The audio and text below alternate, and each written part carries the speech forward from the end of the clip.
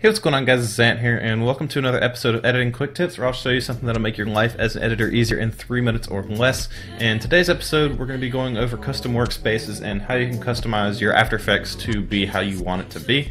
So um, this is the layout that I use. Um, I've moved all the panels to where I want them to be, um, and mainly I've done this because um, these are the panels that I use most. The ones that you're seeing on here right now, these are the ones that I'm doing most of my work in and I've put them directly on the interface just so I always see them and I don't have to go kind of digging for them. Um, and that's something that's going to make your life as an editor a lot easier is being able to find things when you need them.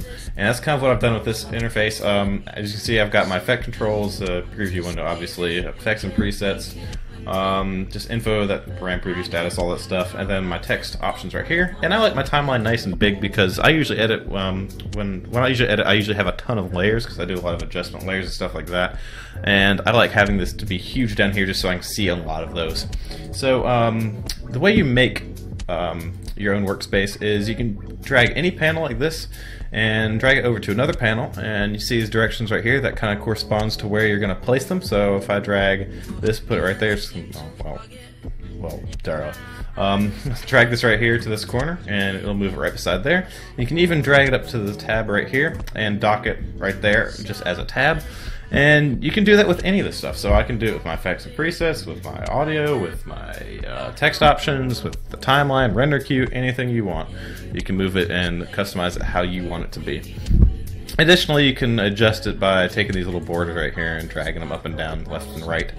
And once you make your work, workspace, um, if you want to save it as a preset, just come in here and put a new workspace, and you can name it and everything. And I've gone ahead and made another one as well to show you guys. Um, this is the one I use for making my thumbnails because I've kind of uh, moved over to making thumbnails in After Effects just because I suck at Photoshop. But this is kind of my version. I got brushes and uh, text tools and all that stuff. And a few neat tricks about the interface you might have not known. If you want to full screen any of these panels, so say if I want to get a full screen preview, just hit the tilde button on your keyboard while this panel selected. There you go, we got a full screen view of the panel. And also, if you are missing any panels on here and you want to add some more to interface, just go up here to Window, and they're all right here. And you can uh, check off one of those, and it'll appear here. So, if this episode was helpful to you guys, be sure to leave a like on the video and subscribe if you're new. Also, leave some comments down below about any ideas or anything you want me to show you how to do in After Effects. Hope you guys have a great weekend. Later.